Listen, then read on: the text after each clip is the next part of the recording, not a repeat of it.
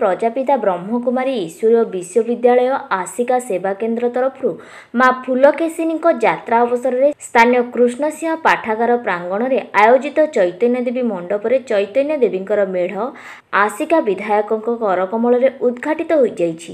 ଏହି ଅବସରରେ ଶାନ୍ତିଶକ୍ତି ଭବନର ସଞ୍ଚାଳିକା ରାଜଯୋଗିନୀ ବ୍ରହ୍ମକୁମାରୀ ପ୍ରଭାତୀ ଭଉଣୀ ସହରବାସୀଙ୍କୁ ପରମାତ୍ମା ଶିବପିତାଙ୍କ କଲ୍ୟାଣକାରୀ ସନ୍ଦେଶ ପ୍ରଦାନ କରିବା ସହିତ ଚୈତନ୍ୟ ଝାଙ୍କିର ଆଧ୍ୟାତ୍ମିକ ରହସ୍ୟ ବର୍ଣ୍ଣନା କରିଥିଲେ।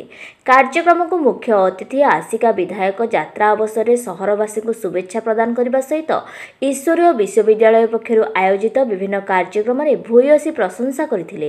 ଏହି କାର୍ଯ୍ୟକ୍ରମରେ ସମ୍ମାନିତ ଅତିଥି ଆସିକା ବାର୍ ଆସୋସିଏସନର ସଭାପତି ସୁଧାଂଶୁ ପଣ୍ଡା ସଙ୍ଗୀତ ପାଢ଼ୀ ବିଧାୟକଙ୍କ ପ୍ରତିନିଧି ବିଜୟ ସ୍ୱାଇଁ ମଞ୍ଚାସୀନ ଥିଲେ।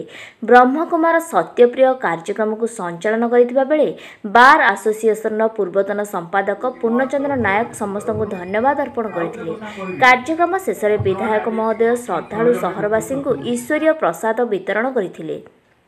କାର୍ଯ୍ୟକ୍ରମ ପରିଚାଳନାରେ ଈଶ୍ୱରୀୟ ବିଶ୍ୱବିଦ୍ୟାଳୟର ସମସ୍ତ ଭଉଣୀ ଭାଇ ସହଯୋଗ କରିଥିଲେ।